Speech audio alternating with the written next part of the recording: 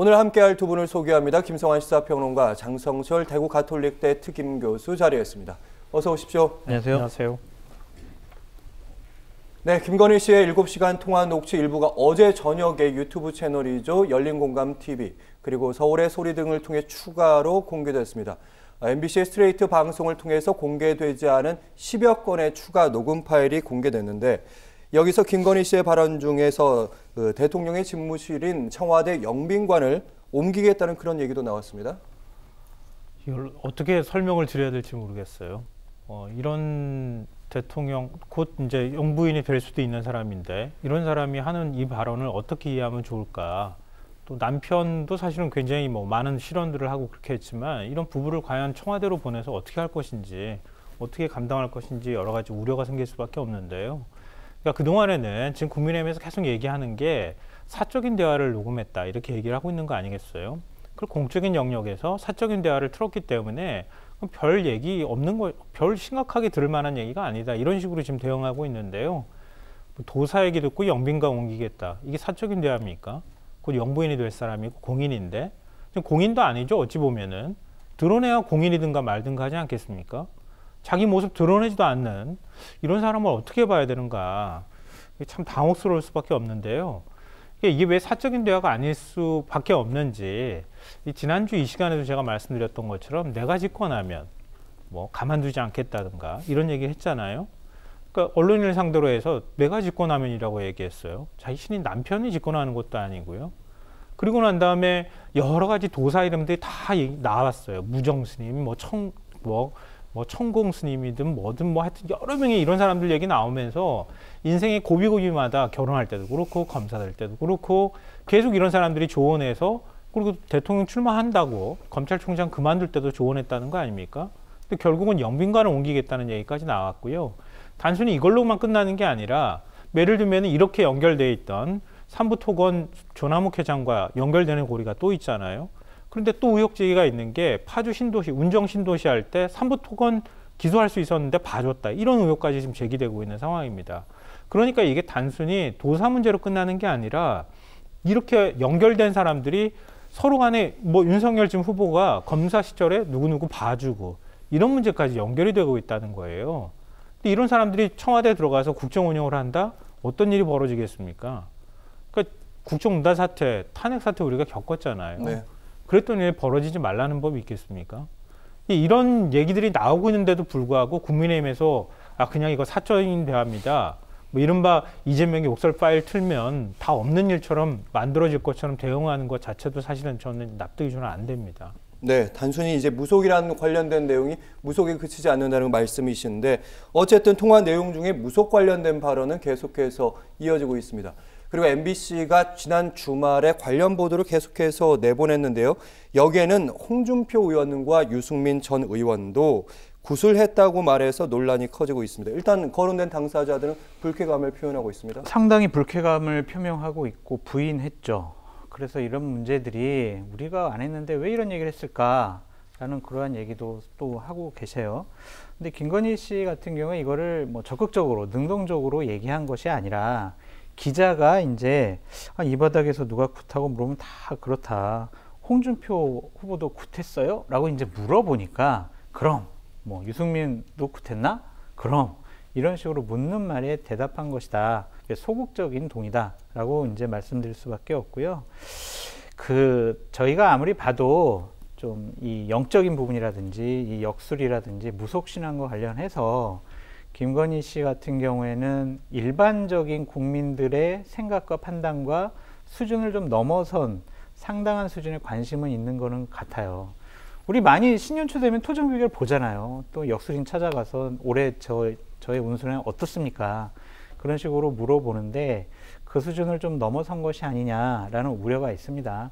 하지만 뭐 민주당 측이나 야권 여권 일각에서 제기하는 것처럼 국가를 경영하는 데 있어서 무속 신앙들이 또한 역술들이 영향을 미칠 거다라고 과하게 좀 비판하는 부분은 좀 무리가 있지 않나라는 생각이 들고요. 옛날 뭐 검찰총장 시절에 신천지 압수수색을 왜 안 했느냐? 그것이 건진 법사가 조언해서 그런 거 아니냐? 이런 식으로 공격하는 것은 결국엔 윤석열 후보가 별 문제가 없다. 라고 본인들이 증명해 주는 거예요. 그러니까 그런 부분 공격하려면 정확한 팩트를 가지고 공격해야 됩니다. 자, 건지법사가 이렇게 조언을 한 내용이 있어. 녹취가 있어. 아니면 녹음이 있어. 이걸 보자. 이거 완전히 윤석열 후보가 건진법사 얘기를 들어서 신천지를 압수수색 안 한 거고 윤석열 후보는 거짓말 한 겁니다. 라고 할 정도의 증언이나 증거가 있어야지 추측만으로 공격을 해서는요.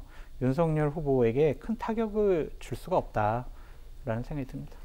뭐 말씀하셨지만 그러니까 김건희 씨 입에서 얘기 나온 거잖아요. 건진법사가 뭐 마치 어, 신천지라고 하는 종교단체와 관련이 있는 것처럼 얘기를 했고요. 그 전에 어, 윤석열 후보가 언론 현업인 단체 모임하고 같이 저 대선 TV 토론 아 대선 토론할 때 네. 그때 내가 그 압수수색 내가 막았다 이렇게 자, 본인 스스로가 얘기한 거예요. 민주당이 의혹 제기를 한 게 아니라 본인들 스스로가 지금 실토한 거예요. 그러니까 두 가지 사안을 연결해 보니까 어 그러면 영향을 받아가지고 어, 신천지와 연결이 됐고 그 도사라는 사람 뭐 이런 사람이 결국은 거기에 영향을 미친 거 아니냐 압수수색 못하게 한 거에 이런 추측을 할 수밖에 없는 상황이 됐다고 하는 거죠. 그러니까 지금 이런 내용들이 민주당에서 의도적으로 의혹 제기를 하기 위해서 만들어서 김건희 씨 목소리 억지로 뭐 아바타처럼 만들어낸 것도 아니잖아요. 딥페이크라고 얘기하는데 그런 영상 만들어낸 거 아니잖아요. 김건희 씨가 기자를 만나서 얘기했던 내용을 통해서 나온 얘기라는 거예요. 그러니까 그런 솔직한 얘기라고 과연 그것도 사실 저는 솔직한 얘기인 것 같아 보이진 않아요. 기자를 잘 구슬리면서 얘기했던 자기의 얘기라고 생각이 되거든요. 왜냐하면 녹취록 들어보신 분들은 아시겠지만 이게 자기의 완전한 솔직한 얘기처럼 들리지도 않아요. 그러니까 기자라는 거 의식하면서 얘기한 것들로 보이는 얘기들이 굉장히 많이 나오거든요. 그러니까 그렇게 하는데도 불구하고 사적인 대화다 이렇게 치부할 수가 있겠는가 이런 생각이 들고요. 제가 이런 사람들이 어떻게 청와대 갈 수 있겠습니까? 이렇게 말씀을 드렸는데 예를 들어서 국정농단 사태 때 진짜 그 부부 사이도 아니고 그냥 자기와 연결이 됐던 뒤에서 당시에 이제 최서원 씨는 그렇게 주장했잖아요. 심부름해주고 이런 뒷, 뒷수발해주는 사람인 것처럼 표현했지만 그 사람이 사실상 실세처럼 군림을 했다는 게 지금까지 확인된 내용이잖아요. 결국은 자기 딸 말 타는 것까지 말 사주는 것까지 대기업이 연결이 되는 이런 일까지 우리가 봤는데 그 사람은 제 3자 입장에서 그런 관계였다고 하면 김건희 씨와 윤석열 후보는 부부 관계예요. 그러니까 영적으로 연결이 되는 그 이상의 관계라는 거예요. 이런 사람이 만약에 나중에 가서 윤석열 후보한테 이런저런 조언을 한다거나 얘기를 했을 때 그때 어떤 일이 벌어질 수 있겠냐는 거예요. 그런 점에서 우려하지 않을 수가 없는 거죠. 그러니까 최순실 씨와 연결시키는 것은 또 너무 과한 연결이 아니냐라고 생각할 수밖에 없고 저는 입장이 그래요. 만약에 윤석열 후보가 검찰총장 때, 때나 아니면은 나중에 대통령이 돼서 무속에 아니면 어떤 영적으로 아니면 역술에 의해서 중요한 공적인 국가의 정책을 결정을 한다면 그러면 이거는 대선 후보로서 자격도 없고 대통령으로서 자격이 없죠. 근데 하지만 추측과 의혹만 가지고 당신은 영적으로 아니면 무속 신앙에 관심이 많고 그거 영향을 많이 받을 사람이야 라고 공격하는 것은 좀 무리가 있지 않느냐. 그래서 민주당에서 공격할 때도 정확한 팩트와 사실, 증거를 갖고 했으면 좋겠다라는 생각이 듭니다. 뭐 교수님 말씀이 우려의 네. 말씀으로 들리는데요. 근데 저는 그런 생각을 하게 돼요. 청와대에 들어가잖아요, 대통령이. 구중궁궐에 갇힌다는 얘기들 하잖아요, 우리가.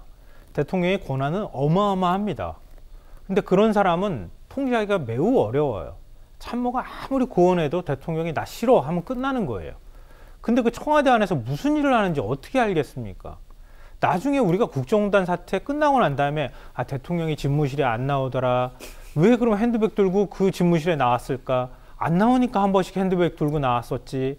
이런 얘기부터 시작해서 무슨 주사를 맞았다, 뭐 했다, 뭐 했다, 얼마나 많은 얘기들이 나왔어요. 근데 그 당시에 집권 같이 했었던 국민의힘 의원들은 그거 다 알았어요. 한결같이 다 몰랐다 그랬어요. 그러니까 알 수가 없는 거예요, 사실은.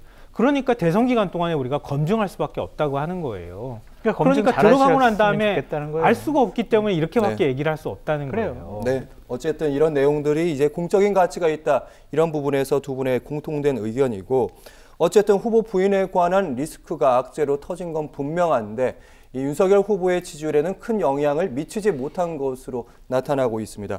어, 녹취록이 공개된 뒤 같은 날짜에 했던 여론조사 결과를 좀 보면요. 어, 금토에 조사를 했고요. 어제 발표된 어, 세 가지 여론조사 결과 먼저 살펴보면 ARS에서는 대체적으로 윤석열 후보가 강세를 보이고 있었죠. PNR 같은 경우는 윤석열 후보 47.1, 이재명 후보는 35.5, 오차 범위 밖에서 윤석열 후보가 앞서가고 있고요. KOSI 아, 윤석열 후보가 43.8, 이재명 후보가 33.8. 역시 전주보다 오히려 윤석열 후보가 더 올라간 그런 지지율이 나- 나타나고 있습니다. 그리고 전화 면접 같은 경우는 이재명 후보가 강세를 보이고 있는 조사인데 서던 포스트 조사 결과를 좀 살펴보면 어쨌든 오차 범위 내에서 역시 윤석열 후보는 지지율이 올라가고 있는 것으로 나타났습니다. 전화 면접이니까 이재명 후보가 오차 범위 안에서 앞서고 있습니다. 아, 자세한 사항은 중앙선거 여론조사 심의위원회 홈페이지를 참조하시면 될 것 같습니다. 저희가 어제 발표됐던 세 가지 여론조사를 한꺼번에 보여줬는데 일단 이 결과를 어떻게 해석해야 될지 장 교수님께서 어쨌든 녹취록도 나왔고요. 홍준표 의원과 관련된 얘기도 있습니다. 그럼에도 불구하고 지지율은 오히려 올랐습니다. 세 가지 이유 때문이에요. 첫 번째는 조국 사태 이후에 민주당에 대한 분노가 너무 커가지고요. 정권 교체 론이 안 떨어지고 오히려 높아져 가고 있어요. 그러니까 이러한 구도 자체가 이재명 후보한테는 상당히 불리하다라는 것이고 두 번째는 최근 3주 동안 윤석열 후보가 특별한 말 실수를 하지 않았어요. 후보 개인적인 리스크가 없어졌다는 얘기죠. 그러면서 정책을 매일매일 발표합니다. 아, 준비되어 있는 정책 지도자, 대통령감 이런 인식을 서서히 주고 있어요. 그러한 부분도 중요하고 세 번째는 후 물타기가 가능해요. 그러니까 예를 들면은 김건희 씨 막말 뭐 녹취록 논란 나왔어요. 그런데 국민의힘 쪽에서는 어떻게 공격하냐면 자 민주당 이재명 후보 부부의 욕설 논란 물타기가 가능한 거예요. 얘기를 들어보면 김건희 씨 얘기랑 그 뭐 이재명 후보 부부의 욕설 얘기를 들어보면 훨씬 더 이재명 후보 부부의 욕설이 자극적이거든요. 그래서 이런 것들이 물타기가 가능해가지고 김건희 씨의 여러 가지 녹취록과 관련된 안 좋은 얘기들, 오해 살 수 있는 표현들 이런 것들은 상대적으로 덜 비판을 받고 있는 것이 아니냐라고 생각이 듭니다. 하지만은 저는 좀 우려스러운 것들이 있어요. 네. 하나하나 곱씹어 보면 상당히 문제될 발언들은 너무나 많이 있다. 만약 저런 발언들을 이재명 후보의 부인인 김혜경 씨가 했으면 국민의힘에 있는 분들은 지금처럼 에이 사적인 통화니까 별 문제 아니에요. 그냥 나중에 그냥 뭉뚱그려 사과할게요. 이런 식으로 방어하고 옹호하고 오히려 공격을 안 했을까요? 이거는 아마 이재명 후보 사퇴하라고 할 만큼 대단히 중요한 얘기들이 많이 있거든요.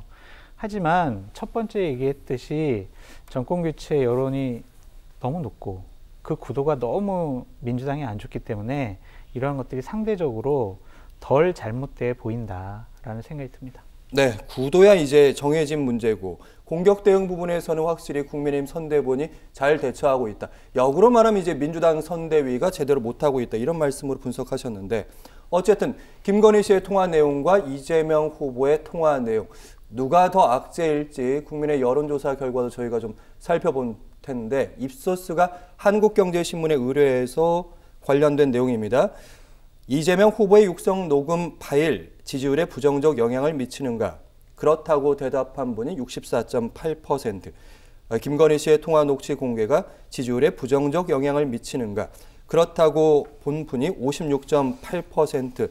확실히 해당 여론조사를 저희가 참고를 해보면 지금까지는 이 후보의 통화 내용이 어, 오히려 더 악재였다 이렇게 보는 국민들이 더 많은 것으로 나타났습니다.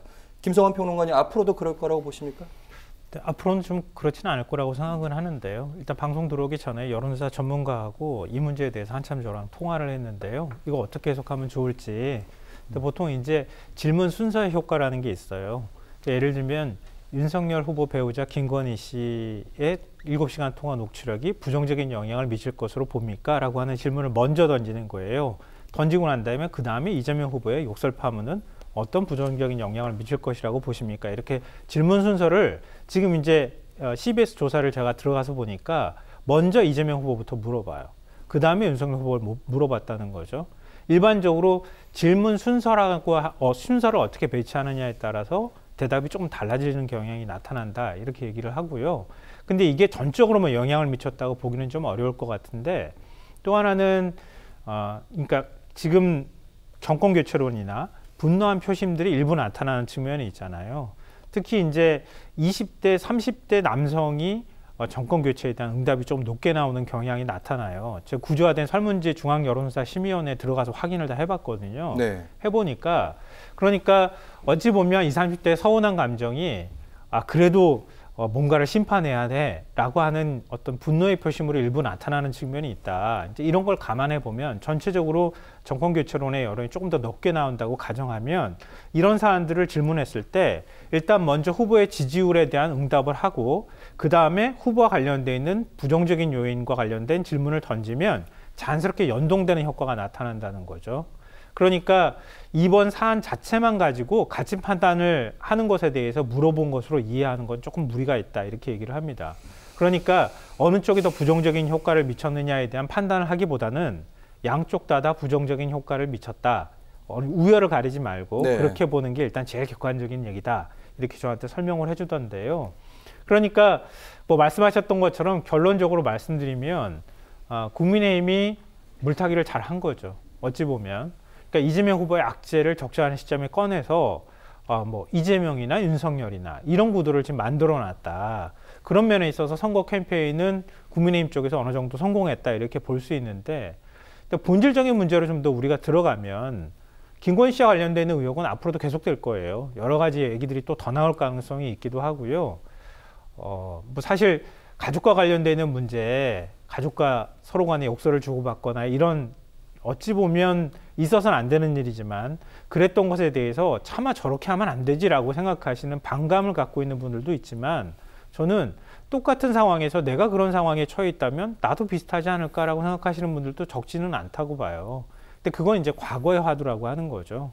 그러니까 지금은 영향을 이렇게 미친다 하더라도 앞으로 계속 반복적으로 김건희 씨와 관련돼 있는 얘기가 추가로 나오게 될 경우에는 지금 나오는 경향하고 조금 달리 나올 가능성이 있고 후보 지지율의 움직임에 따라서 같이 연동돼 가지고 조사를 계속 만약에 계속하면 어, 김건희 씨와 관련돼 있는 악재가 더 많은 영향을 미칠 수도 있겠다. 지금은 단정하기 어렵지만 그런 생각을 합니다. 그러니까 어찌 됐든 네. 뭐 그러니까 후보들 입장에서는 별로 좋은 소식은 아니니까요. 국민들 입장에서는 어, 별로 좋게 받아들이지 받아들일 수 없는 악재인 것만은 뭐 틀림없어 보입니다. 네, 일단 뭐 악재가 계속되면 이제 김건희 씨 역시 대응을 할 수밖에 없는 입장이고 그래서 김건희 씨가 이제 다시 공개 활동을 한다 이런 얘기가 나오면서 어제는 이제 김건희 씨의 프로필 사진을 찍는 영상 그러니까 영상은 아니고요 사진의 그 모습이 공개가 됐습니다. 이건 어떻게 보십니까? 등판은요? 근데 남편도 모르는 일을 제가 어떻게 얘기하겠습니까? 윤석열 후보도 모른다며요. 언제 나오는지. 프로필 사진 찍는지 안 찍는지도 모른다고 하는데 그 프로필 사진은 누가 사진 촬영을 해가지고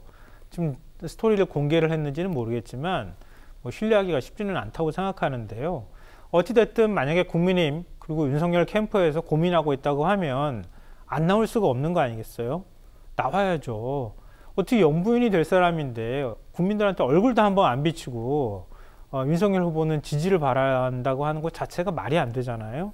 그러니까 아마 어, 뭐 지금 앞서도 말씀드렸던 것처럼 욕설 파문과 관련해서 맞불 작전이 일정하게 성공했다고 판단하고 그리고 설 지나가면서 만약 대선 양자 토론을 했을 때 그 성사가 된다고 하면 거기에서 뭔가 이 정도면은 충분히 우리가 잘했다라는 내부 판단이 선다고 하면 한 대선 한 달밖에 안 남은 상황이거든요.